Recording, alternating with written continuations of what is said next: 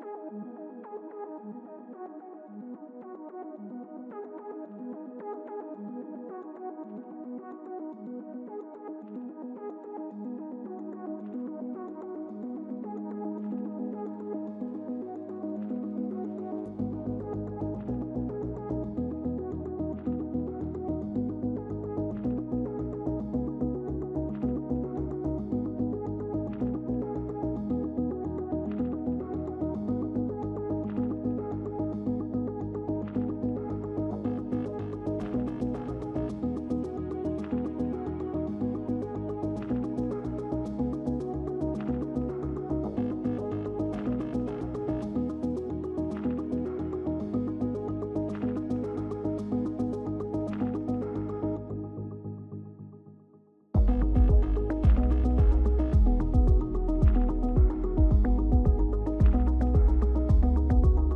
You need five times more uh, renewable energy, renewable electricity, uh, to create um, an, uh, the amount of e-fuels that you would need to directly electrify a car uh, via a battery for the same amount of driving or the same amount of distance to travel.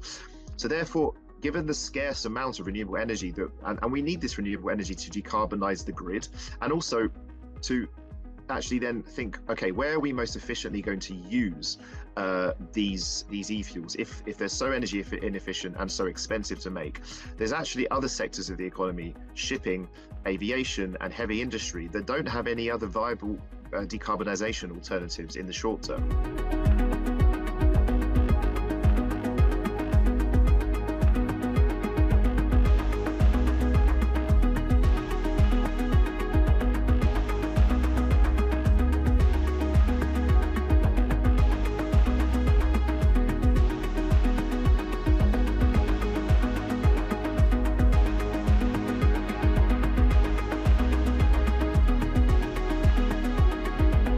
Mixing fuels into a legislation regulating engines would mean the law would be simply unenforceable. It is impossible, not feasible to monitor what drivers, what fuel drivers are putting into their cars, uh, especially over the lifetime of a, of a car.